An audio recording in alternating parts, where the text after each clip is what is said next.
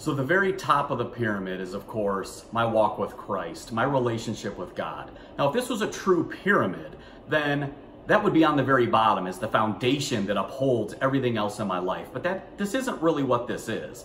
This is stating that my walk with Christ, my time with the Lord, is the pinnacle of my day. It's the most important part of my day. And as a result, it deserves my best energy, my best vitality. It should have me when I'm at my most creative and most alert.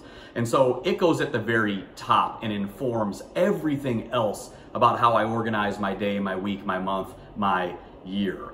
So there is a time of day for you and for me when we tend to be at our most creative, alert, aware, engaged. For me, it's about 9.30 in the morning. And so step one is it's incumbent upon me to know when that time of day is by and large. It's not the same every day, but it is the same most days. So I should know myself well enough to know when am I at my best. God deserves my best. My walk with Christ deserves my best. And so step one is just figuring out when that even is for you. Step two is then to figure out, okay, so if I'm at my best at 9.30 in the morning and I'm in math class, or for me, I'm at my office, how do I carve out some time to spend time with the Lord when I'm at my best? And that might not always be possible. But if we're creative and if we spend some time being strategic thinkers and thinking through how can I do that, I bet we can come up with some solutions. Personally, I set an alarm on my computer that goes off at 9:30 every day and it automatically throws up a couple of passages of scripture for me to kind of read through and pray through every single day.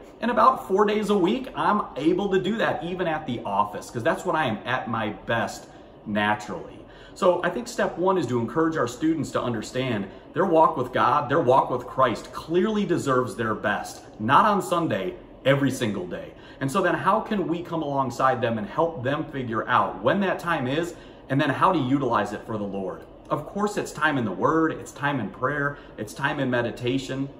And so um, we all have the same 24 hours in our day. We want to make sure that as we organize and prioritize the balance in our lives, God is getting our very best. And as a result, He gets the best of our energy and the best of our time and winds up at the very top of the pyramid.